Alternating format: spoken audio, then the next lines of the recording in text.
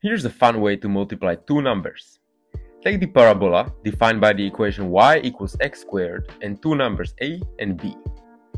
Divide the xy plane into a positive and negative side along the y-axis.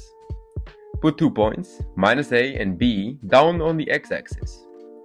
Now extend the vertical line from both points up until they touch the parabola. Connect the two points on the parabola with a straight line.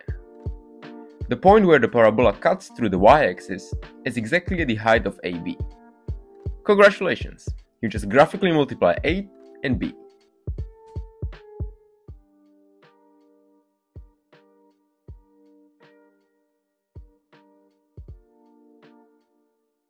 So, why does this work? Here's a simple proof. A general equation of a line is y equals mx plus c. Given two points on the line, we can calculate both m, the slope, and c, the constant. By the way we construct our line, the two points we will use are these. Given these two points, the slope can be calculated as follows.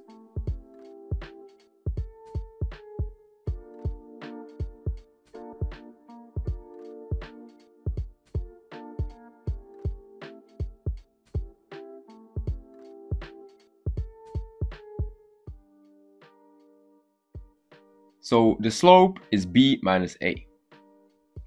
Having the slope, we can plug one of our points into the equation and find out what the constant c should be.